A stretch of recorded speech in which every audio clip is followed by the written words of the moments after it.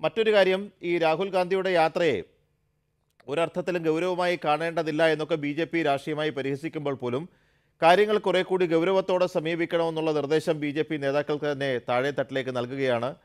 B J പിയുടെ മന്ത്രിമാരോടടക്കം കൂടുതൽ യുവാക്കളുമായി സംവദിക്കാനും സർക്കാരിന്റെ നേട്ടങ്ങൾ ജനങ്ങളിൽ എത്തിക്കാനും ഇപ്പോൾ നൽകുന്ന പ്രധാനപ്പെട്ട നിർദ്ദേശം ഈ യാത്രയിലുടനീളം ഇന്ത്യയിലെ വലിയൊരു വിഭാഗം യുവാക്കൾ രാഹുൽ ഗാന്ധിയോട് കൂടുതൽ അടുക്കുന്നു എന്നുള്ള തിരിച്ചറിവിൽ നിന്നാണോ?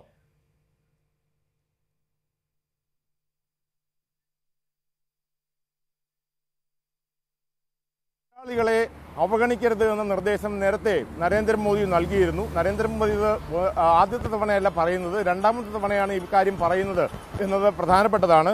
ഏതായാലും രാഹുൽ ഗാന്ധിയുടെ ഈ ഒരു യാത്ര തുടങ്ങിയതിന് ശേഷം ബി ജെ പി ആദ്യമൊക്കെ ഇതിനെ അവഗണിക്കാൻ നോക്കിയിരുന്നു. പക്ഷേ രാഹുൽ ഗാന്ധിക്ക് ഈ യാത്രയിൽ ഉടനീളം ആൾക്കാരെ ആകർഷിക്കാൻ കഴിയുന്നുണ്ട് എന്നുള്ള കാര്യം ബി ജെ പി മനസ്സിലാക്കി.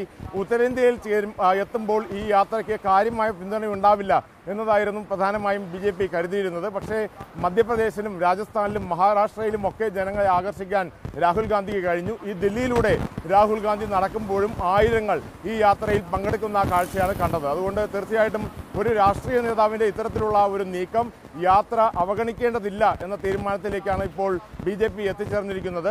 രാഹുൽ ഗാന്ധിയെ കളിയാക്കിക്കൊണ്ടുള്ള ഒരുപാട് പ്രസ്താവനകൾ ഇപ്പോഴും നടക്കുന്നുണ്ട്.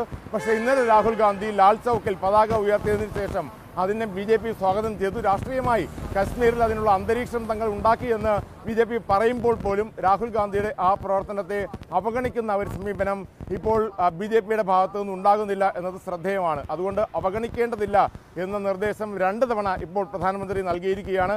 ഒന്നാമത് ബി ജെ പി ദേശീയ നിർവാഹക സമിതി യോഗത്തിൽ ഇതേ കാര്യം നരേന്ദ്രമോദി ചൂണ്ടിക്കാട്ടി. രണ്ടാമതായി ഇന്നലെ മന്ത്രിമാരുടെ എല്ലാം യോഗം വിളിച്ചിരുന്നു. സഹമന്ത്രിമാരുടെ ഉൾപ്പെടെ വിശദമായ ഒരു യോഗം ഇന്നലെ വിളിച്ചു ചേർക്കുകയും ഏതാണ്ട് പത്ത് മണിക്ക് തുടങ്ങി മൂന്ന് മണിക്ക് അവസാനിക്കുകയും ചെയ്ത ഈ യോഗത്തിൽ പ്രധാനമന്ത്രി യുവാക്കളുടെ ഇടയിലേക്ക് ഇറങ്ങണം എന്നുള്ളൊരു നിർദ്ദേശം മന്ത്രിമാർക്ക് നൽകിയിരിക്കുകയാണ്.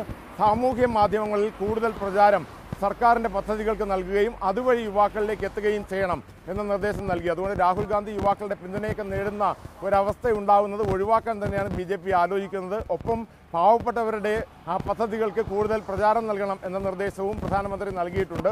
അതുകൊണ്ട് രാഹുൽ ഗാന്ധി ഉയർത്തുന്ന ഒന്ന് രണ്ട് വിഷയങ്ങൾക്ക് മറുപടി നൽകുക എന്നാണ് ബി ജെ പി ഉദ്ദേശിക്കുന്നത്. എന്തായാലും രാഹുൽ ഗാന്ധി ഇന്നലെ ഒരു സൂചന നൽകിയത് ദേശീയത സംബന്ധിച്ച് ബി ജെ പി പറയുന്ന കാര്യങ്ങൾ അതേപടി കോൺഗ്രസ് ഏറ്റെടുക്കില്ല. പക്ഷേ ചൈന അതിർത്തിയിൽ ഉൾപ്പെടെ നടക്കുന്ന വിഷയങ്ങൾ രാജ്യസുരക്ഷയുമായി ബന്ധപ്പെട്ട വിഷയങ്ങളാണ്. അതൊക്കെ അടുത്ത തെരഞ്ഞെടുപ്പിൽ ഉന്നയിക്കാൻ പോകുന്ന വിഷയങ്ങളാണ് എന്ന സൂചന രാഹുൽ ഗാന്ധി നൽകിയിട്ടുണ്ട്. അതുകൊണ്ട് വരും ദിവസങ്ങളിൽ അത്തരം വിഷയങ്ങൾ ചെറുക്കാനുള്ള നീക്കം കൂടി ബി ജെ പിയിൽ നിന്ന് പ്രതീക്ഷിക്കാം. സുരേഷ്.